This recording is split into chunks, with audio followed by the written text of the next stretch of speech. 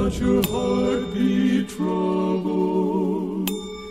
Ye believe in God and in me.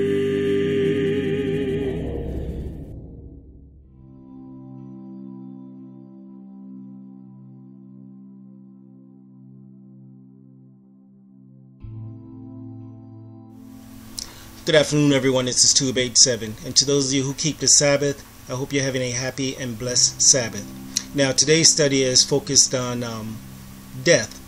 Um, a lot of people don't acknowledge it. Most people have issues with it when someone dies, um, family, friends, loved one, whomever. Um, but I'm here to tell you, people, recognize that it's a real experience and it's gonna happen to you as an individual. Now, granted, very few will not see death physically.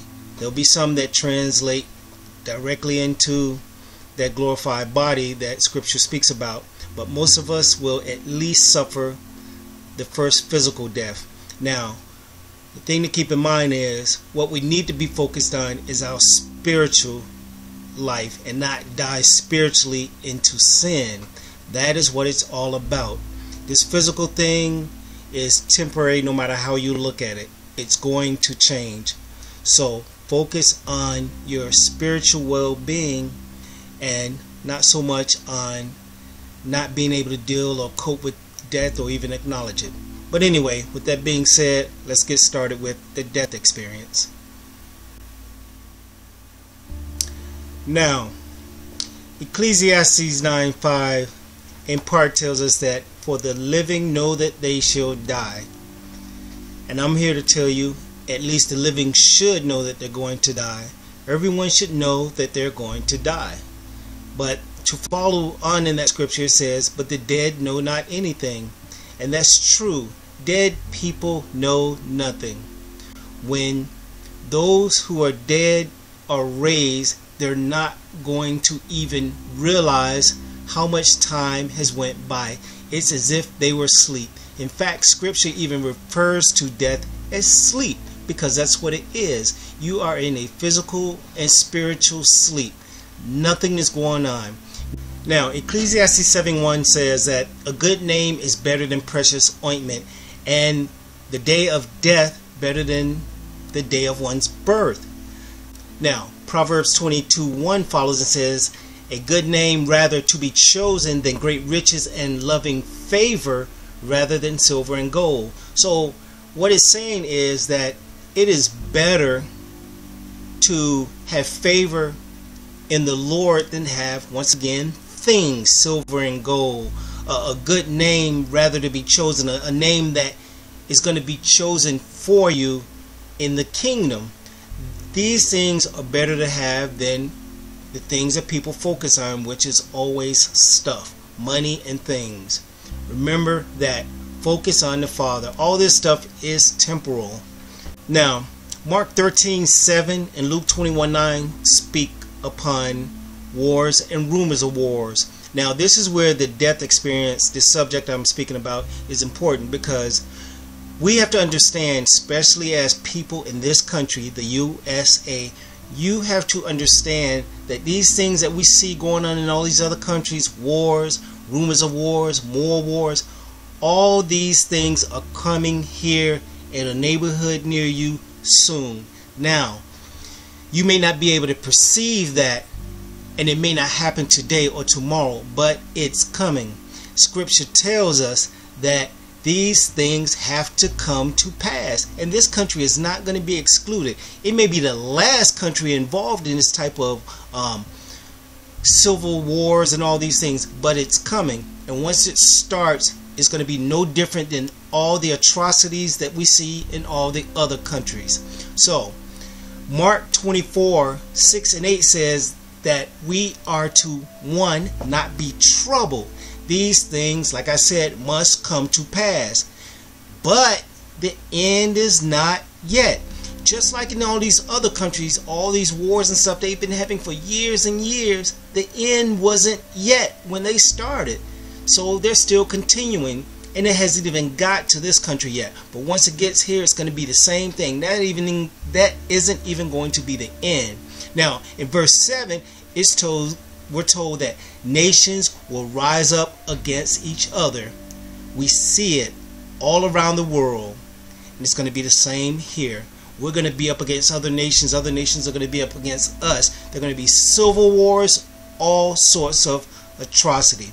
And then in verse 8, that's Matthew 24, verse 8, it says, These things are the beginning of sorrows, or the um, pains of a woman in travail, or sorrows. That's basically what it's saying. These are the beginning of sorrows and miseries and mourning and just all these horrible things that we only see from this country looking at other countries through the news and all this other media. You have to prepare yourself. And I'm not talking physically because we're going to be who we're going to be physically as an individual and as a nation, but you have to be ready spiritually. Now, Luke 21 9 through 12 reads, But when ye shall hear of wars and commotions, be not terrified, for these things must first come to pass, but the end is not by and by. These things are gonna have to happen to fulfill his will. Verse 10 Then said he unto them, Nation shall rise against nation, and kingdom against kingdom.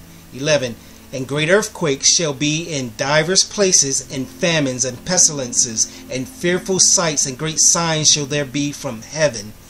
All these things have to happen. There's going to be a succession of all these things happening. But the first thing you notice that we're told in verse 9 is to not be terrified.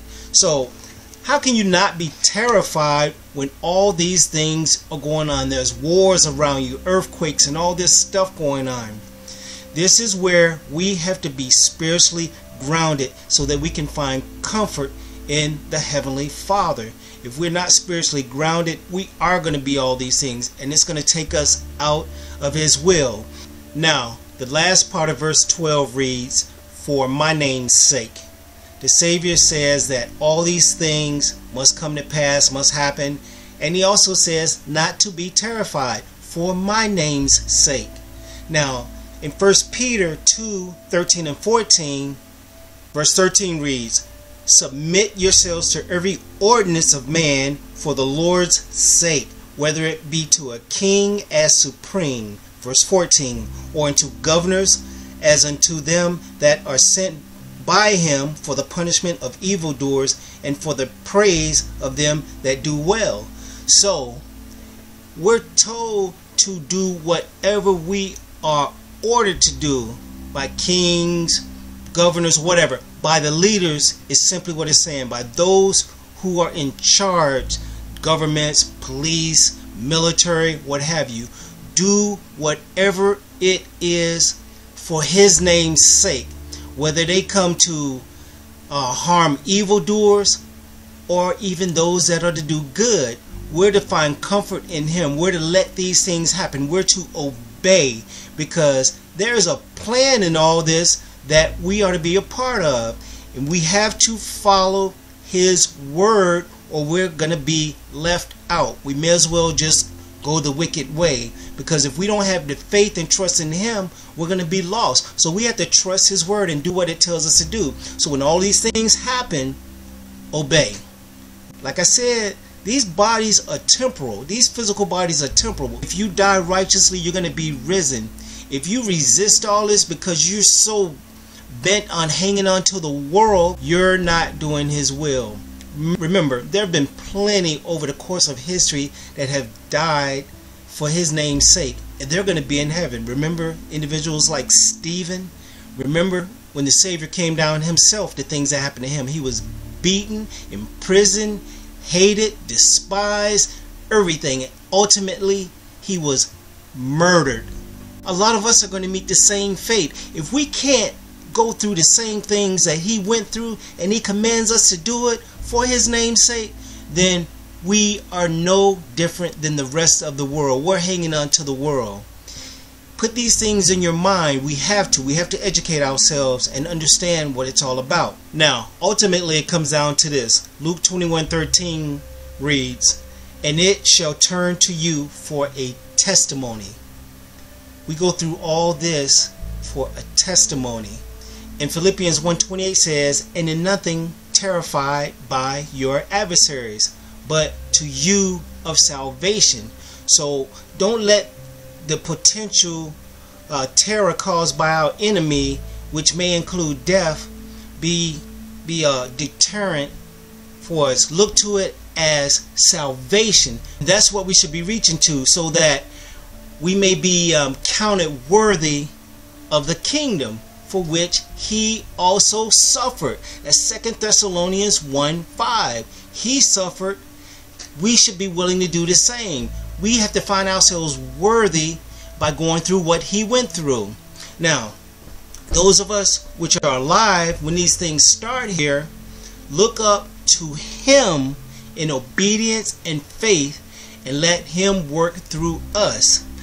Always be willing to let this worldly stuff go. Work on yourself spiritually and be looking up toward the heavens. As it is, it's not going to change. The Father's plan is going to carry through. So look up to Him to get us through whatever it is. With that being said, the Heavenly Father doesn't call on us to be successful.